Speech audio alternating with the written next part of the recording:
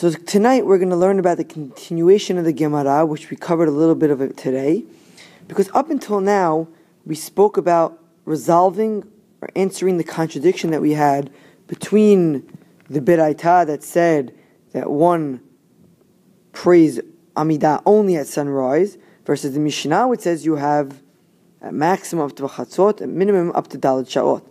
And we spoke about how to resolve the contradiction that we're talking about people that are vatikin who pray early in the morning and run to do mitzvot. But now I would like to talk about something different, yet similar. Because again in the Mishnah we said the latest time according to the Mishnah that you can pray, according to Tanna Kamma, is Tefilat HaShachar Ad Hatzot. So according to that opinion, the latest time is at noon. That's the latest time you can pray. However, as the Gemara asks over here, Vechule alma ad hasot vetu lo.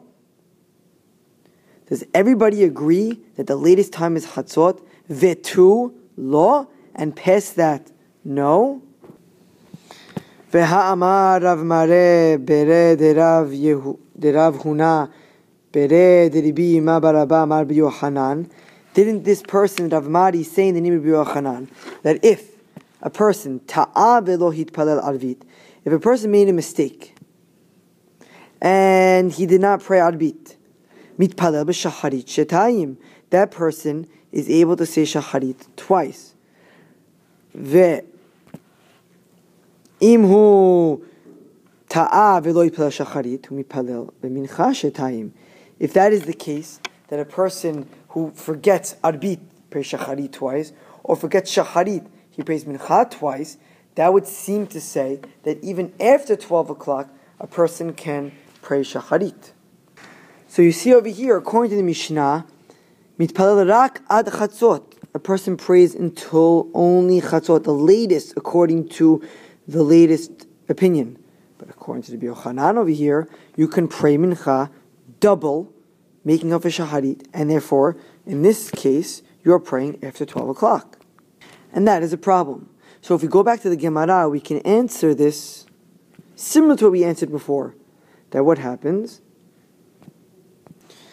Ad chatzot, up until chatzot, yehavele sechar tefila bizmana. That until chatzot, you get a specific reward for saying tefillah in its time, bizmana.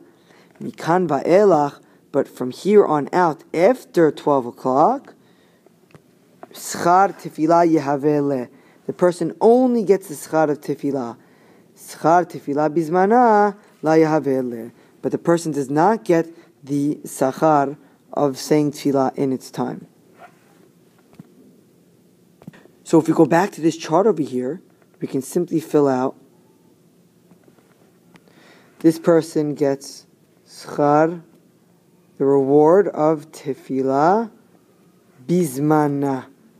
You get reward of saying tefillah in its time. But this person who's after chatzot, rak, only schar tefillah. He only gets the schar of tefillah.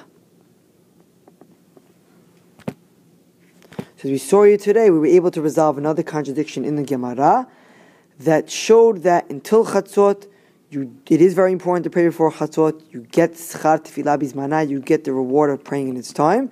And here and further past Chatzot, you only get the schar of tefillah. You do not, however, receive schar tefillah bizmana of tefillah in its time.